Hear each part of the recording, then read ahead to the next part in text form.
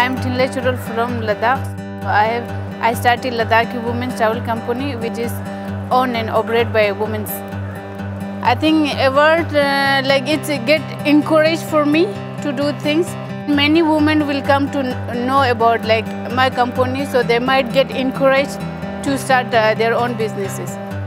Tourism is uh, in all over India. I think it's a male-dominated field. I used to do like peak, which is goes about uh, uh, 6,200 meter. So like I'm very happy to lead a group there, and like most of the our trek is goes above 5,200 meter. Many tourists are happy to see me. They are saying, "Oh, nice, uh, you are doing a guide. Uh, We been to other part of India. We haven't seen any female guides." So then I thought it's a good opportunities to start uh, only women's company, so which encourage Ladakhi women to become a guide.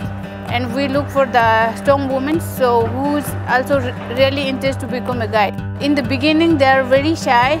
Uh, even we ask some question, they are very shy to like talk in English and uh, things. So later on, after one year, I can see they are more confident and speak English, and then they can able to lead group. This season we have like total uh, 27 women working with me, so I am so happy about it.